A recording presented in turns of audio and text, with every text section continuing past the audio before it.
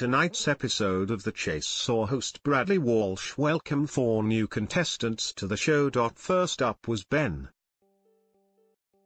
A 32-year-old PR manager from Middlesbrough, alongside Suzanne, a 62-year-old retired travel agent from Cornwall. The next pair were Holly, a 23-year-old marketing assistant from London, alongside Phil, a 50-year-old upholsterer from Lancashire. However, fans of the show noticed comparisons to Philip Schofield and Holly Willoughby, along with Ben Shepherd and Susanna Reid. Viewers noticed that producers had secretly made it a daytime TV episode,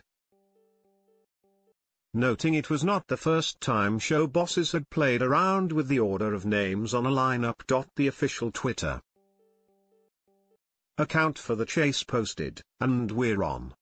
It's 5 pm and Bradley Walsh is on our screens joined by tonight's fantastic contestants. Ben, Suzanne, Holly and Phil. Hashtag the chase.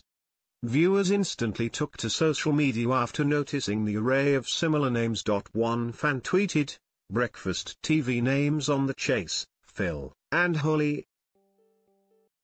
Ben and Suzanne hashtag the chase.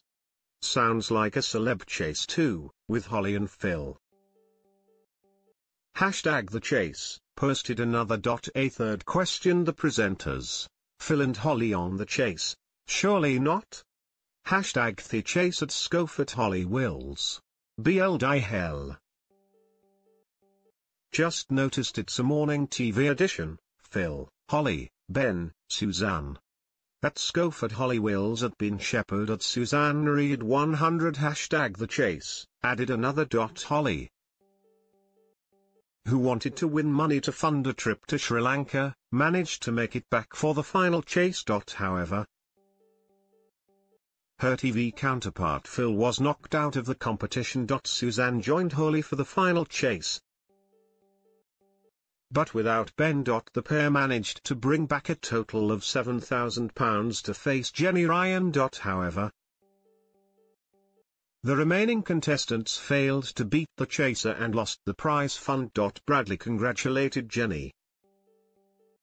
Before the vixen revealed why she thought the contestants had lost. Jenny explained, the lass played very well. There were some really tough questions in each set. The problem is the two guys at either end of the team were quite